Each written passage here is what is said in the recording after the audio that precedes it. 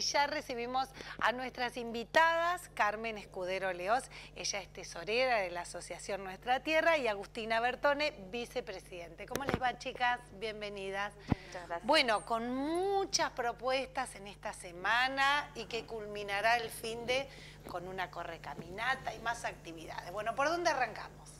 Bueno, a contarte primero, mañana 5 de junio es el Día Internacional del Ambiente y en ese marco desde hace varios ya- años ya, tanto desde el cole como desde la asociación, hacemos distintas actividades. Eh, en particular este año, desde lo que es el colegio, desde los tres niveles, están haciendo diferentes actividades con los alumnos y alumnas. Eh, en particular queremos invitar, tanto mañana, miércoles como el jueves, hay actividades abiertas a la comunidad. Mañana a- de 4 y media a 5 y media van a estar los chicos y chicas de tercer grado de primaria en la plaza del centro haciendo avistaje de aves. El que se quiera acercar les van a prestar binoculares y les van a contar las aves que van a poder ver. Y el jueves también de 4 y media a 5 y media de la tarde van a estar los chicos y chicas de cuarto de primaria eh, contando un poco el efecto que tiene en el dique, disculpe, no, no dije el lugar, en el dique para contar un poco el efecto sobre el arroyo Langueyú, en lo que están trabajando desde el colegio. Eso El colegio trabaja mucho Muchísimo. en todo lo que tiene que ver en el cuidado del medio ambiente en todos sus niveles. Sí, y esta semana en particular, por, en referencia a la, a la fecha del 5 de junio, están haciendo actividades desde, desde todos los cursos. Qué bueno. Estas dos actividades en particular son abiertas a la comunidad. Después hay algunas donde hacen intercambios con otros colegios, que van con la Escuela 34.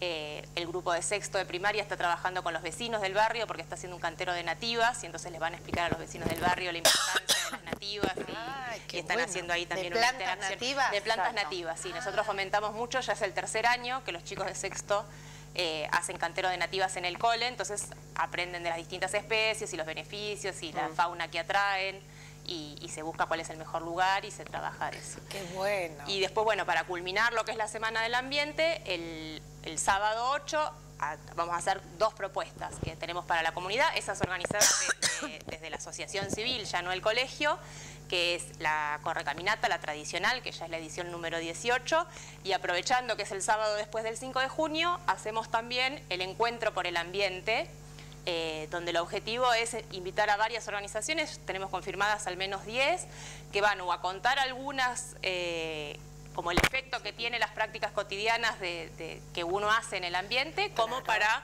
ofrecer alternativas de, de esas prácticas, ¿no? Por ejemplo, Agustina, ahora, ahora seguimos Sí. con eso, me van a, a detallar más, pero contame acerca de la correcaminata, que es este sábado, ¿verdad? Sí, este sábado eh, larga a las 14 horas, tempranito, así no se enfría el cuerpo. ¿Desde? Eh, desde el colegio, desde la sede del colegio Nuestra Tierra, que está en Matiasen 485, atrás de UNCAS, nos gusta decir. Manantial de los amores. Exacto. Desde ahí a las 14 eh, ya tenemos un montón de inscriptos, por suerte, mucha gente que se interesó. Eh, y siempre acompañados, hace ya un tiempo que venimos trabajando y siempre estuvimos acompañados por Sergio Hoffman, el, el atleta, Gran yo creo que atleta, ya es un famoso, sí. personaje famoso, eh, que está, tra- está trabajando mucho, muy comprometido con la carrera, estuvo eh, charlando con los chicos de los distintos niveles del colegio, eh, sobre la importancia del atletismo, sobre su propia historia, eso fue, fue muy lindo, muy interesante. Eh, y también va a haber... Después de la carrera competitiva va a haber carreras para eh, categorías menores para, para los chicos a partir de las 15.30, así que están invitados todas las familias de Tandil. ¿Y dónde se inscriben? Se pueden inscribir, eh, tenemos distintos puntos de inscripción por eh, la página de la ATA, en la página de la ATA de la Asociación Tandilense de Atletismo van a encontrar el link de inscripción. Después se pueden inscribir en Óptica Óptima, que está en Maipú, eh, frente a la Chacabuco. Sí, frente a la clínica Chacabuco, Sí. más o- en frente al Jardín 1. Eh, y si no, se pueden inscribir. El viernes a partir de seis y media vamos a estar en el colegio con la entrega de kit y también se pu- pueden inscribir. Y el mismo sábado, en caso de que no, no quieran adelantarse mucho, vamos a estar a partir de las 10 de la mañana también inscribiendo y entregando kits. Está, eh, perdón, en Tagua, en Avenida Brasil también hay inscripción presencial. Tanto la del formulario como las de Opti- Optima y Tagua es hasta el viernes.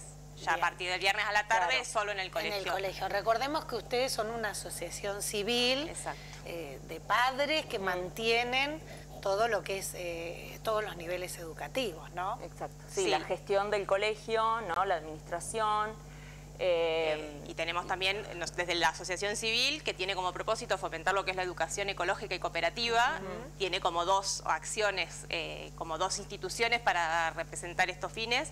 Una es el Colegio Nuestra Tierra y el otro es el CEAD, que es el Centro de Educación Ambiental para Docentes. Eh, que también lo gestiona la asociación civil. Nosotros gestionamos la parte más administrativa, digamos, que, todo lo que es funcionamiento y este tipo de actividades más para la comunidad por fuera de lo que se hace adentro del cole, que entendemos que también es súper importante, que no solo se acote a los que vamos al colegio, sino que se pueda abrir al resto de Tandil. Em, digo, ustedes van notando cómo de a poco, hace unos años atrás uno decía, ¿qué voy a hacer? ¿Qué voy a aportar yo haciendo tal cosa en mi casa? Si las grandes y hoy ha cambiado ese paradigma, ¿verdad? Hoy decimos, bueno, por algún lado hay que empezar entre todos, alguien tiene que hacer algo para, cuidar el medio ambiente, para cuidar la naturaleza. Creo que hemos cambiado ese chip, esa, concepción, esa concepción. Falta mucho, Falta. pero creo que de a poco se está dando ese primer paso. Sí, bueno, el, objetivo del encuentro justamente es ese. Nosotros el encuentro lo organizamos en, conjunto con Punto Verde Tandil, la otra asociación civil sin fines de lucro. Estamos trabajando que lo tuvimos los otros días ah. acá. Eh, y justamente el objetivo que planteamos para este año, que el eslogan que le pusimos es un paso verde a la vez, es eh, contarle a la gente el efecto y las, alternativas que tenemos que a veces es muy fácil. Hay mucha gente que dice, no, pero eso es muy difícil, da mucho trabajo o es más caro. A lo mejor hacer cosas que sean más amigables con el ambiente. Y la verdad es que hay un montón de prácticas que es simplemente porque uno no las conoce, las tiene mm. tan naturalizadas eh, que con algo sencillito uno puede cambiar y es aportar su granito de arena. El otro día leía que está estimado que si seguimos con este nivel de consumo de plástico, para el año 2050 se espera que haya más plástico que peces en el mar. Que lo decís así, no es tanto, el 2050 no está, tan, no está tan lejos. Son nuestros hijos, nuestros nietos. Exacto, entonces hay que empezar a cambiar un poco eh, el sentido de, o que tampoco alcanza con decir, bueno, pero yo reciclo. No, porque lo primero es no usar. Y para no usar hay un montón de alternativas y un poco el objetivo de, este encuentro que invitamos, eh, aclaro que el encuentro va a estar abierto desde las 13 horas porque la gente que vaya más temprano ya puede estar circulando y participando y viendo que no es, no es, no es feria ni nada, es simplemente distintas organizaciones contando esto, el efecto que tienen nuestras acciones y las alternativas. Por ejemplo, a ver quién, quién va a estar, cuéntenos. Eh, bueno, hay una chica que vende pañales de tela, muy lindos pañales de tela y todo lo que es gestión menstrual, también hay alternativas que no son descartables, una chica que hace lo que se llaman B-Wraps para reemplazar lo que es el papel de film, que es otro plástico de un solo uso, que usamos muchísimo. Eh, bueno, va a estar Punto Limpio y va a estar Recuperadores, las las, dos alternativas que tenemos para recibir elementos de reciclaje. Eh, van a estar, bueno, las chicas de Punto Verde con lo que es compost, que es otra de las cosas que podemos hacer cada uno en nuestras casas. Desde la organización vamos a tener un stand donde las cosas que no cubramos con las otras organizaciones vamos a contar algunas alternativas, como decorar, por ejemplo, en lugar de con globos, con banderines de tela, que el globo es un plástico de un solo uso que termina en la basura, que son cosas que a lo mejor uno no las piensa hasta que se las dicen y no es tan difícil. Eh, entonces hay como muchas organizaciones que, que por Bueno, ahora están, viniendo unos, unos globos que son biodegradables. O sea, en eso también de a poco, mm. bueno, las fábricas deberán ir cambiando y también la legislación debe ir Sí, hay mucho también, bueno, es otra mm. cosa que vamos a tratar en el encuentro, hay mucho también eh, que tampoco alcanza con que sea biodegradable, porque además si el biodegradable va a la basura, en realidad no se degrada, tiene que ir al compost, tiene que ir a la tierra para que se degrade. Entonces son cosas que también la gente no cuenta con esa información. Capaz quienes estamos más en, la movida ambientalista nos vamos enterando, eh, pero lo ideal es evitar lo que es de un solo uso.